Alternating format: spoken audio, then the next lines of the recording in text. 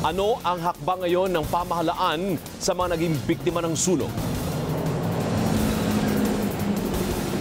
Alvin, tulong pinansyal at legal assistance yung handang ibigay ng gobyerno dito sa mga biktima. At kanina nga pasado alas 4 ng hapon, Alvin, dumating dito sa cargo terminal sa Paranaque City ang mga labi ng tatlong biktimang namatay nga sa sunog sa Kuwait noong isang linggo.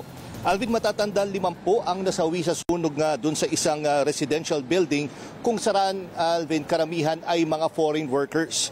Tatlo nga sa mga nasawi ay mga Pinoy. Smoke inhalation, Alvin, ang sinasabang ikinamatay ng mga biktima. Pero bukod dun sa tatlong namatay, Alvin, dalawa din ang nasa critical na kondisyon. Pero yung isa ay nailipat na sa wards. Kumbaga, isa na lang ang natitira sa ICU.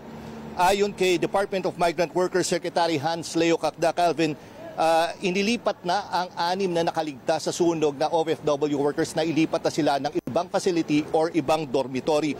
Pero inaayos ngayon Alvin kung meron sa kanila dito sa anim na ito ang gustong bumalik ng bansa or ma-repatriate.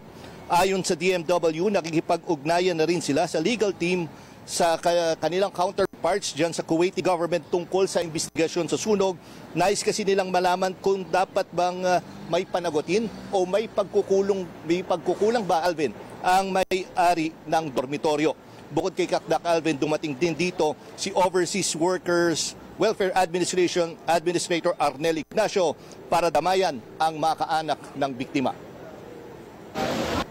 Uh, aside from uh, what the Speaker gave, the 200,000, si Senator Tulfo nagbigay 100,000, ang OWA mayroong alalay na bibigay na bereavement and funeral and uh, other benefits were 220 and uh, ang kumpanya ay magbibigay rin ng $10,000, ang Kuwait government $15,000 at inaasikaso pa natin insurance. So lahat yan, masasagot na kaagad yan. Nakatutok na rin po yung ating uh, retained lawyers just to see to it na ano, yung uh, legal uh, remedies that can be explored for our OFWs ay ating ano, tinutugunan rin.